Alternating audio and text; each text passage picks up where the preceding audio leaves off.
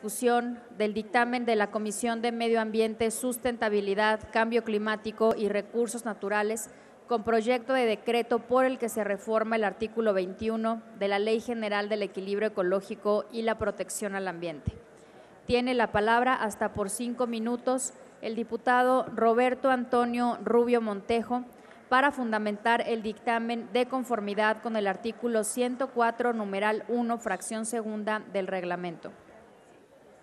Con su venia, diputada presidenta, Adelante, compañeros y compañeras diputadas.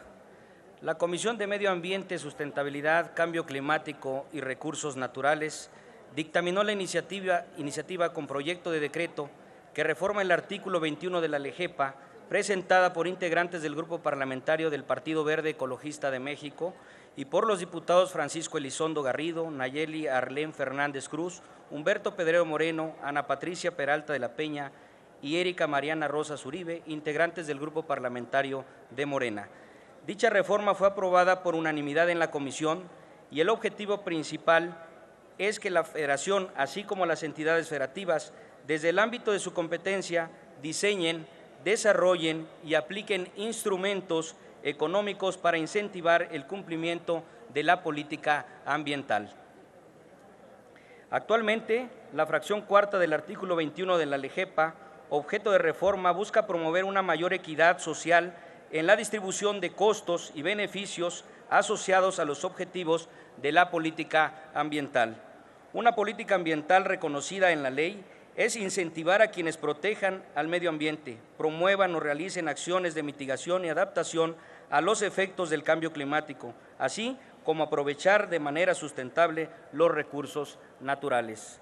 Por ello, la Comisión aprobó la adición de la propuesta sobre incentivar con instrumentos económicos aquellos que promuevan la conservación de los recursos naturales con una perspectiva intercultural y de género, logrando así cero discriminación y asegurar que todos son acreedores de estas políticas en beneficio de la preservación del medio ambiente. Asimismo, con esta reforma se atienden aquellas evidencias que muestran las graves afectaciones al medio ambiente a nivel mundial, los distintos gobiernos han dirigido parte importante de su trabajo para seguir consolidando una agenda ambientalista transversal con la finalidad de poner un alto definitivo a todos aquellos actos que ponen en peligro la preservación de nuestros recursos naturales. Indudablemente uno de los retos más fuertes a los que nos enfrentamos es lograr la participación y el compromiso de la sociedad para trabajar juntos, ya que se afirma erróneamente que los movimientos ambientalistas son parte de una simple moda. En este sentido, la iniciativa busca que el Estado garantice la protección del medio ambiente sano como uno de los derechos más importantes para las personas, pero se requiere también de la participación activa de la sociedad mediante la adoptación de hábitos sustentables con el medio ambiente. Este objetivo estará logrando para la reforma que hoy estamos aprobando sobre incentivar con instrumentos económicos aquellos que promuevan la conservación de los recursos naturales con una perspectiva intercultural y de género.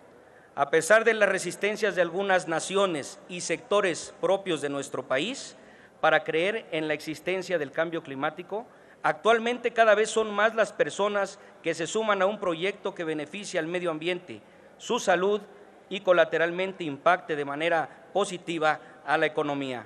Por lo anterior, y a nombre de la Comisión de Medio Ambiente, Sustentabilidad, Cambio Climático y Recursos Naturales, solicito el voto a favor de los diputados y diputadas de este Pleno, a fin de seguir promoviendo la equidad de género en materia ambiental. Es cuanto, Presidenta. Muchas gracias. Muchas gracias, diputado. Consulte la Secretaría en votación.